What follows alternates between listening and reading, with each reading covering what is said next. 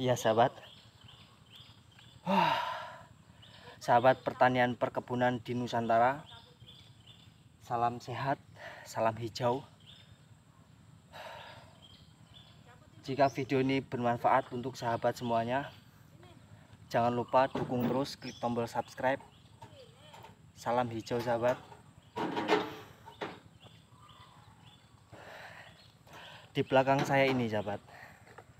Ya di belakang saya ini proses penanaman pohon naga sahabat jadi media untuk batang pisang. Batang pisang sendiri ini memiliki banyak unsur hara sahabat mampu menguraikan bahan-bahan yang terkena sintetis sahabat jadi jangka waktunya bukan pendek sahabat itu panjang sekali. Masa-masa fase penggemburan tanah itu sangat cepat tapi pemakaiannya itu sangat panjang sekali sahabat.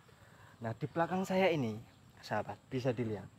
Di belakang saya ini melalui proses-proses pemupukan dengan bonggol pisang. Ini saya buka sahabat. Saya buka. Nah tuh. Saya buka sahabat. Ya. Nah. bonggol pisang ini mampu menguraikan tanah jadi subur. Karena ada unsur haranya sahabat.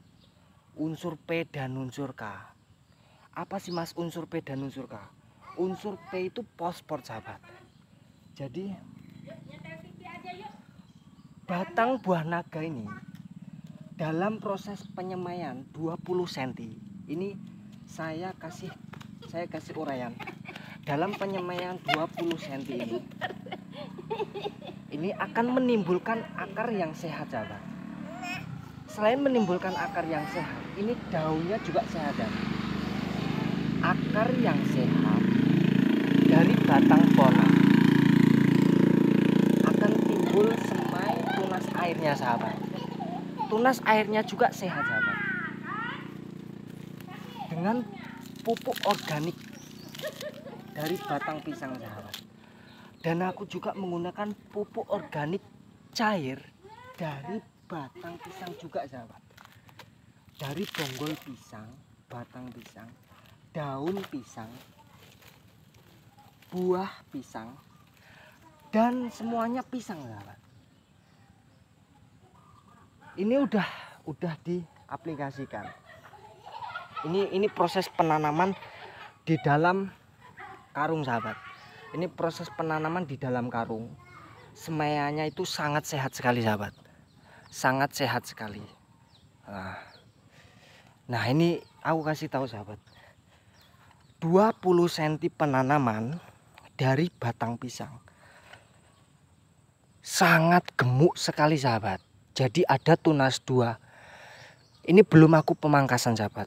Ini sebagai contoh aja. Nanti pemangkasannya ada di video selanjutnya untuk fokus ke satu sulur ini ada dua sulur. Jadi untuk video edukasi kita sahabat sangat subur sekali sahabat. Lihat ini sahabat. Ini penanaman dari batang 10 cm nah penanaman dari batang 10 cm sulurnya bisa setengah meter sahabat. Bisa 30 cm nih panjangnya sulurnya bisa 30 cm dari batang awal penanaman 5 cm dan ini sahabat. Dan ini lagi sahabat. Ini penanaman sekitar batang uh, 15 cm ya kurang lebih 15 cm dan ini sulurnya sekitar 1 meter sahabat. Sulurnya sekitar 1 meter. Dasaran ini memakai pupuk dari batang pisang sahabat. Hanya batang pisang itu mengandung banyak unsur haranya sahabat. Fosfor kalium. Ini. Bisa satu meter hijau sekali sahabat. Dari dua lima belas lima belas dari penanaman 15 cm sulurnya bisa satu meter.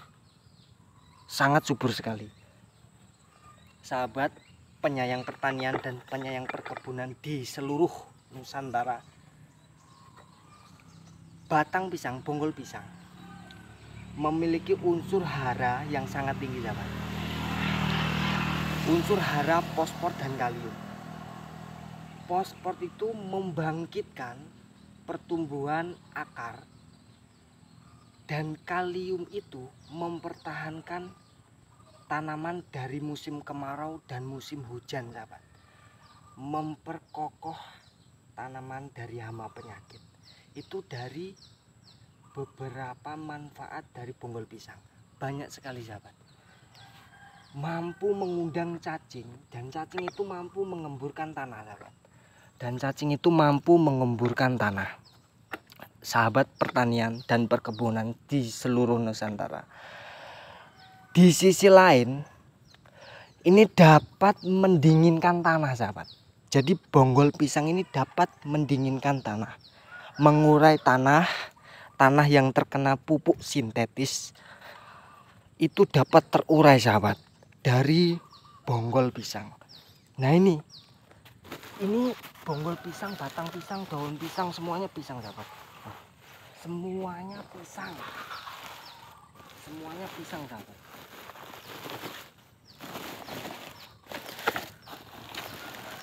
semuanya pisang.